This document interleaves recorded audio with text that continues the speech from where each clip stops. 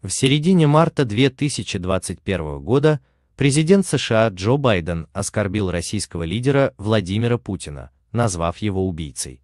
В ответ хозяин Кремля пожелал 78-летнему обитателю Белого дома здоровья и предложил ему публичную дискуссию по проблемам российско-американских отношений.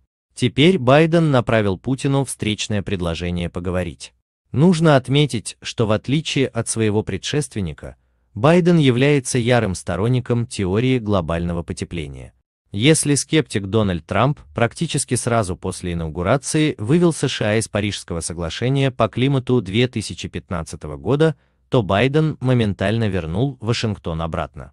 Трамп, не стесняясь, называл снижение углеродных выбросов аферой и вредительством. При этом Байден сделал климатическую повестку одним из основных пунктов своей предвыборной кампании, пообещав перестроить экономику США на экологический лад. Из Белого дома сообщили, что президент США пригласил президента России и руководителя Китая на переговоры по климату. Байден хочет пообщаться на онлайн-саммите, который должен состояться 22-23 апреля с Путиным и Си Цзиньпином, обсудив с ними климатические изменения. Всего в мероприятии должны принять участие более 40 глав государств. Главной целью указанного саммита является обсуждение усилий по снижению роста средней температуры воздуха на планете.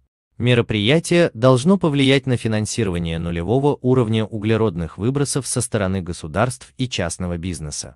Напоминаем, что 18-19 марта в Анкоридже, штат Аляска, США, прошли китайско-американские переговоры. Несмотря на взаимные упреки, стороны договорились о создании совместной рабочей группы по борьбе с изменением климата.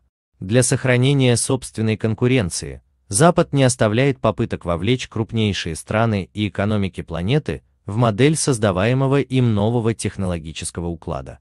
Например, Берлин хочет сделать тесное взаимодействие в вопросах изменения климата одним из основных в общении с Москвой.